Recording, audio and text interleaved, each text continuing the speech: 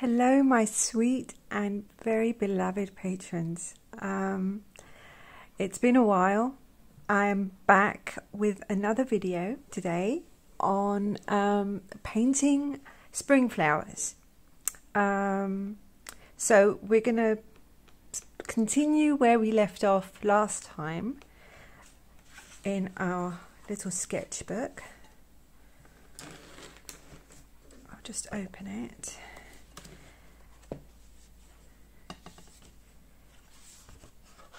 Where was it?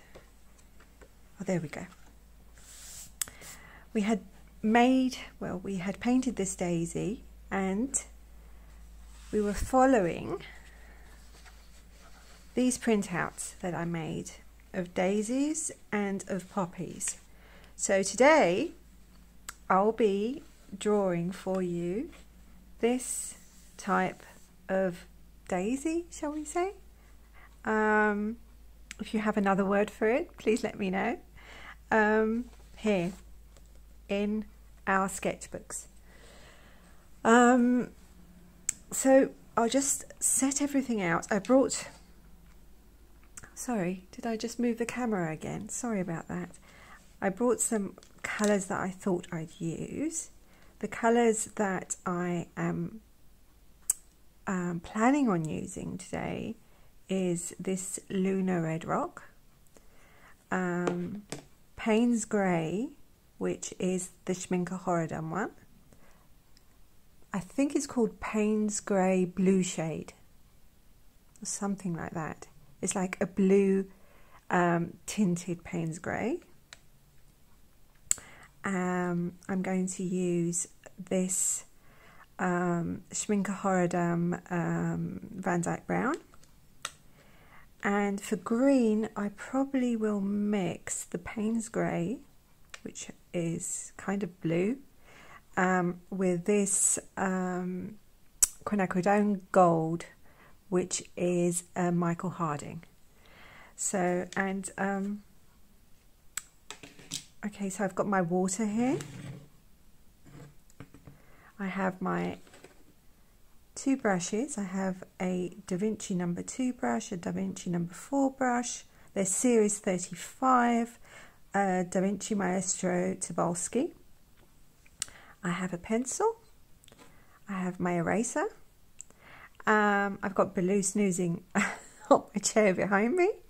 And I am ready to paint. So I'll just set everything out and um, set everything so that I can move because my table is so small. Um, and I'll be back and we'll begin painting. See you in a bit. So in my haste to begin filming, I forgot to bring my two micron pens, which I uh, got up um, and got from my uh, bookcase. They're Sakura Micron Pigma 003 in sepia, sepia, sepia, and Pigma Micron 005 in uh, sepia, sepia. Um, so let's begin. So um, today I will be drawing, I will be drawing together hopefully, this. Now Um, and I thought we'd, we'd put it here, somewhere here, next to our daisy. Um, so we're going to break down the, the shape first and draw that onto our postcard. Don't know where all these eraser bits are coming from there are tiny eraser bits coming from something, and I don't know from where. Okay.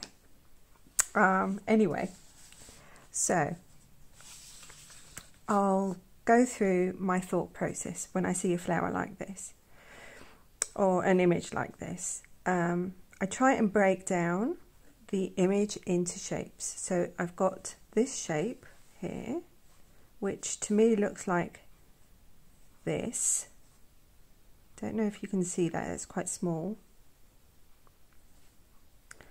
And then I have this larger shape here, which looks like kind of a, an umbrella with this shape underneath. So that is my basic shape. And then we've got this, which is the stem, which should be kind of here. So I'm going to start with that. I'm going to just start with the shape. And from there we're going to build the details together. Let's do this. So I'm going very gently with my pencil and doing the first shape, which is this. So it's like a, a semicircle and then you have this these two sides going upwards like two two hands and going up and then you have this line here. And then I'm going to go underneath from this point and do like an umbrella shape. It doesn't have to be perfect. This is fantasy drawing. This is not um, this is not realism. So we are taking the essentials and we'll build our flower on those essentials like um, like a foundation. So these shapes are uh, the foundation of our image. I'm going to find with my my eyes where the middle is approximately. Go down and draw that imaginary line and go on either side of the line and draw another line and that is going to be our stem.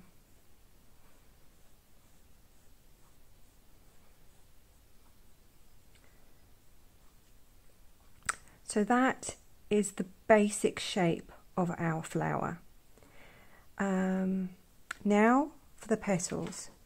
So you can see the petals are narrow. I don't know if you can see that. Hope you can. Are narrower towards the center. They become wider as they go out. So I'll just do that so you can see it better. Wider and then come to a point. Also, there is a curve. So there's a curve that occurs in the petals, and you'll see this as you go through. If you go through every single petal, you'll see there's a curve. There are no straight lines. Very rarely there are straight lines in nature, and this even this isn't straight this is like um, here it is um, thicker here is thinner. But for the sake of our drawing we're going with a straight line underneath as a stem. Um, so we're going to start adding petals to our shape. Drawing the curve first which is the middle of the petal just helps. It just helps us get it right, narrow, wide, point. Let's do that here. So we're starting narrow. And widening the area here. And to a point, narrow and to a point. Okay, so there we have our basic um, daisy shape. Um, as you can see in this, we have overlapping. So there are, there's like layers. There's one layer. Okay, Baloo's, Baloo's stirring in his box. Um, so if you can hear some scratching, that's Baloo. Where was I? Um, there is the first layer of petals on top and then there's another layer of petals on the bottom. So what I'm going to do is I'm going to add some petals underneath. I'm going to start because um, I want to be sure that I'm not using too much ink. I'm going to start with 003 first. If I find that that is too um, too faint, I'll go on and add 005. I'll go on and use 005. So it is quite faint, but I'm going to start with that. It's more forgiving. If there's a mistake, which I do make mistakes, I make them all the time. I can just improvise with a thicker pen on top, and you can't, well, I can't really see it afterwards. Um, some cross hatching, some lines, it, it kind of disappears. I mean, um, you can't erase pen, but you can help in making it kind of vanish into the background if you make a mistake, if that makes sense. So I'm going to do that underneath.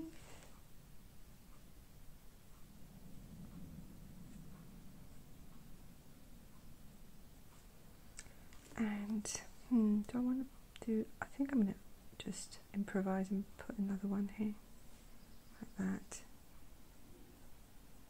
Just a little bit. Okay. We'll do more to it later. We start adding colour.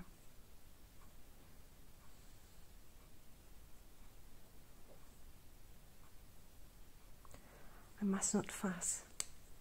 I have this um, really bad habit of fussing on paintings, on drawings, on anything, even in my sketchbook.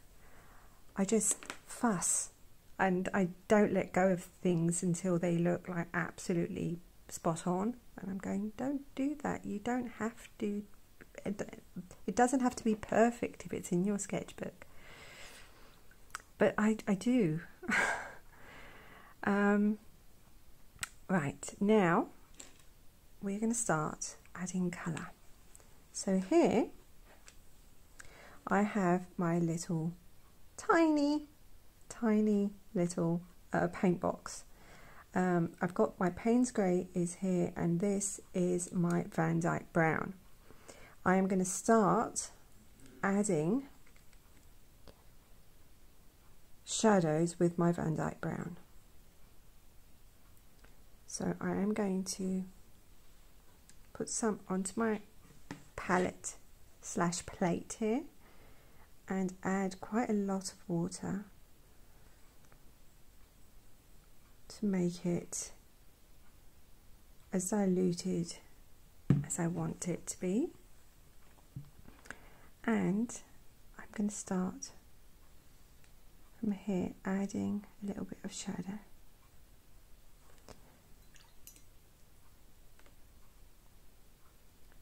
So I'm going to try and bring out the semi-spherical nature of this. The top here. And now I am going to just add some shadow on this side. So I add a dab of Van Dyke Brown and then I soften it.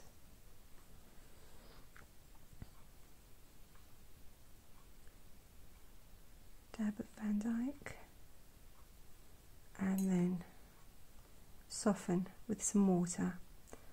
When I say soften, I mean um, just clean your brush, pick up a little bit of water and help basically soften the edges of the watercolour so um, there are no hard edges. And now to wait for it to dry. Oh, there's so much waiting in watercolour. Um, I don't use a hair hair dryer because I used to when I started because I was thinking this is silly. I'm sitting here waiting for water, uh, watercolor to dry, but I found that using a hair dryer would damage the paper, especially if I wanted to um, do many layers. So I've stopped doing it. Um, it doesn't mean that you can't do it, or um, I don't know, use a fan or something if you want it to dry um, sooner. I've just learned that when I'm doing things, um,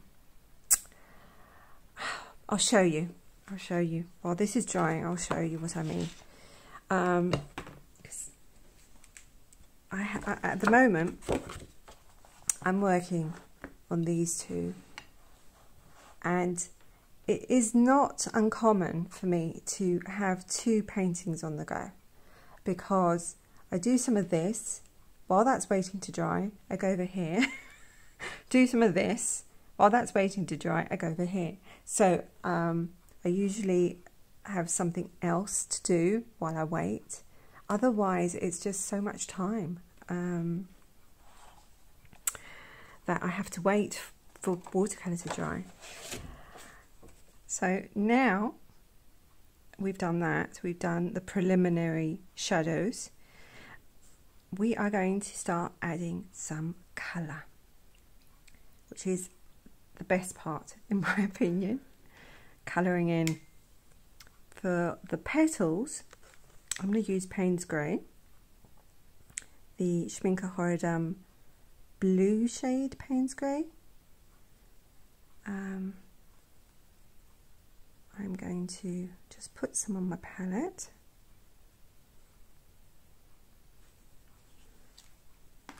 I love this colour. I've been using it so much. I've been using it in some of my originals as well um, that I've been working on lately. I just love it. Such a beautiful, beautiful colour. Very moody, muted. For the petals, I am not going to paint the petal completely with blue. I'm going to start at the tip. I'm going to add some water. Sorry, I'm going to add some colour, not water. And then I am going to wash my brush, put some water on it, and then drag the colour. I'm going to go and do this for every single petal.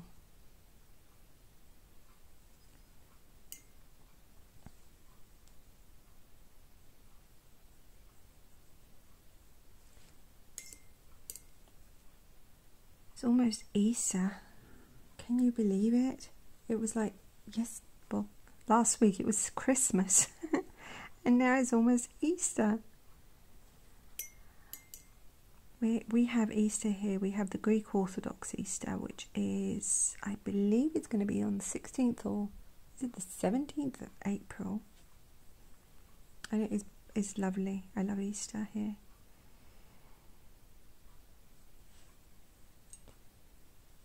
It's very beautiful. One of the things that uh, remind me of Easter. Oh, one thing that I kind of connect with Easter are the smell of lemon blossom and orange blossom because all the oranges, orange trees and the lemon trees are all in blossom usually around Easter. And um, we go shopping somewhere where it's kind of out in the supermarket. It's a bit strange. It's it's kind of by itself in the fields. It's it's a strange supermarket. It has lovely stuff, but it's it's a strange supermarket. And whenever we drive there, um, we go through these fields, these sorry, these orchards. Would you call them orchards of oranges and lemon trees? And I just open the window and just inhale. It's just so beautiful. The the smell is so gorgeous. Oh, I, I love lemon blossom and orange blossom. I am rambling again. so now we've done that, I am going to use some Lunar Red Rock, which is a which suits I think the Payne's Grey very well. A little bit on my palette.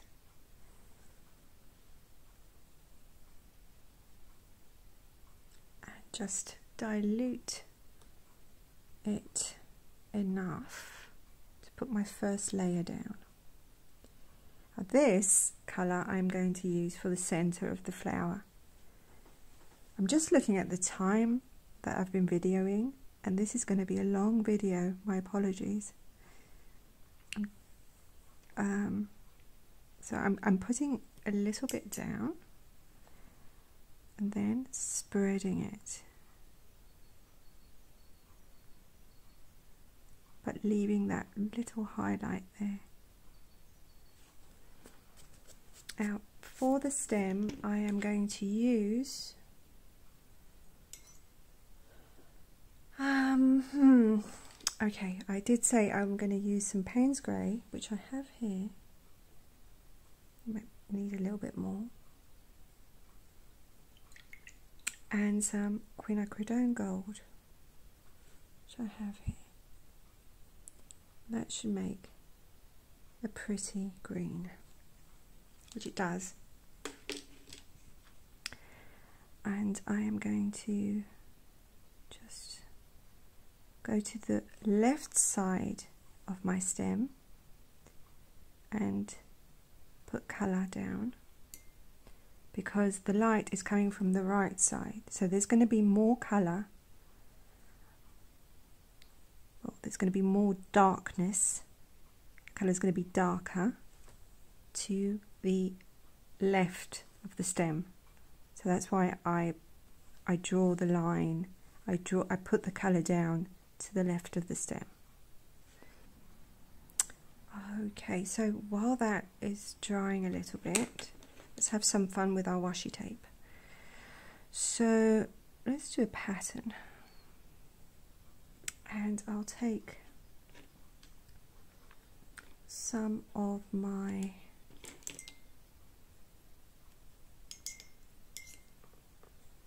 Lunar Red Rock and just paint that in.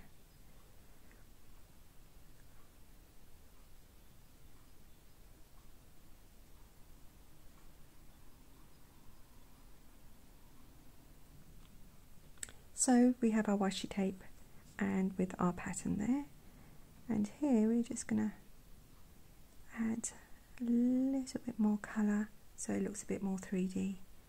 Tiny bit here as well. That looks fine. Now, back to our centre here. And I am going to start adding my little dots. There. And some lines there.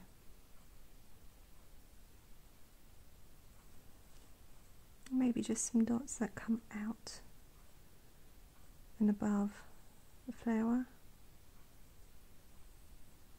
just for fun.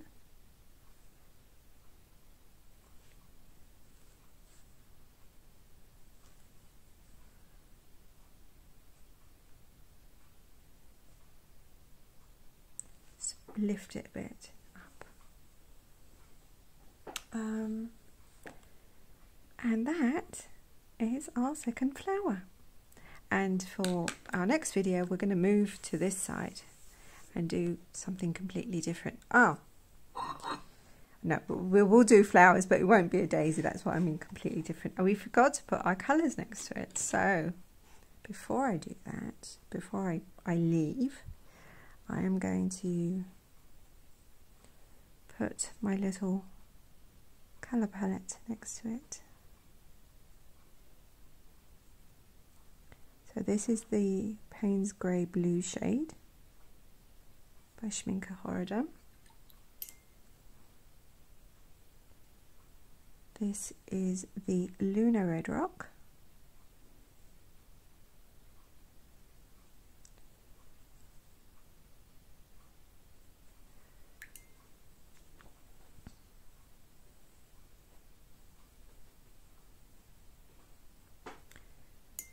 This is a mix of quinacridone gold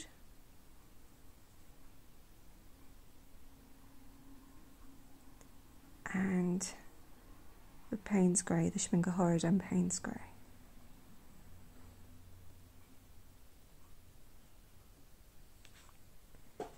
There we go. Our two flowers. I really hope you enjoyed the video. I hope it wasn't too long for you. Um, I I'm so so so grateful to you all for supporting me. Um, I I love you guys so very very much. I hope that um, you enjoy the packages that uh, you receive every month. I can tell you that a lot of love and affection goes into every single package. I, I really do try to show you how much you mean to me through those packages. Um, I hope you can feel it. Um, I am going to leave you here. I'm going to probably go and continue writing the uh, the Legend of Sen Naif with Baloo on my lap. He has this thing about me when I'm typing on my laptop the stories. He comes and nestles between me and the laptop. So I've got my uh, my arms are like extended like that to type, uh, which makes it very difficult. But it is a very nice feeling to have him snuggle with me while I'm writing. It is a bit. It is. Um, he's such a very very affectionate little boy. I love him to bits. Anyway, rambling again. Thank you so much. I have I said much how much you mean to me? I hope I did. You mean the world to me, all of you. Thank you, and I hope to see you all soon again um, with another video. I hope you'll be here and enjoy that one as well. I'm I'm rambling. Okay, okay, guys. Bye, bye, bye, bye.